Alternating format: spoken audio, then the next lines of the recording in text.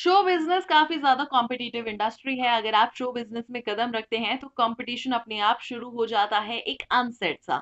ऐसे में शहनाज कौर गिल इस कंपटीशन को लेकर क्या राय रखती हैं, बता रही हैं हम सभी को। Hello this is Lisa Gangwani दरअसल शहनाज कौर गिल को एक अलग ही लेवल ऑफ़ सक्सेस मिल गई है ever since she featured in Bigg Boss season thirty जहाँ पर उनकी क्यूटनेस उनकी चर्पीनेस उनकी बबलीनेस को बहुत ज़्यादा पसंद किया था और उसके बाद उनका जो वेट ट्रांसफॉर्मेशन हुआ है, उसके बाद से वो सिर्फ़ क्यूट और बबली नहीं, बल्कि सेक्सी एंड हॉट भी बन चुकी हैं। ऐसे में शहनाज कौर गिल से जब पूछा गया कि आपको जिस तरीके की सक्सेस मिली है after Bigg Boss season thirteen उसको लेकर आप लोग, आप क्या राय रखती हैं?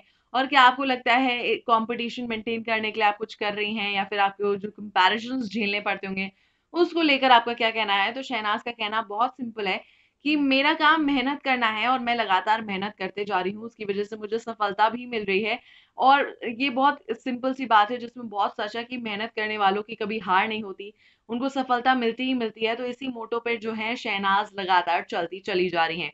वहीं जब कंपैरिजंस की बात बोली गई तो शहनाज ने कहा कि जब भी कंपैरिजंस किसी चीज़ में आ जाते हैं तो हेटरेड और जेलेसी साथ साथ में आते हैं। इसलिए कंपैरिजंस को मैं कोई भी तवज्जो नहीं देती हूँ। मैं अपनी मेहनत करने पर फोकस करती हूँ, अपना काम करने पर फोकस करती हूँ। कंपैरिजंस करने में फोकस नहीं करती हूँ। और अगर सोशल मीडिया पर शहनाज कौर गिल हैं तो वहाँ पर कई सारा नेगेटिव जो है, एक क्राउड भी होता है, जो नेगेटिविटी थ्रो करने की पूरी कोशिश करता है।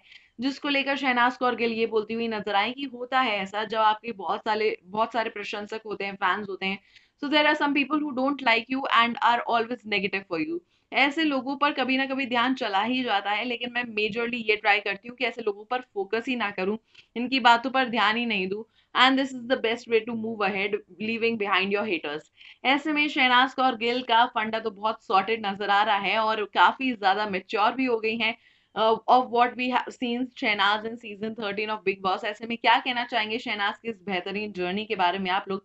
ज़रूर लिखकर बताइएगा कमेंट सेक्शन में।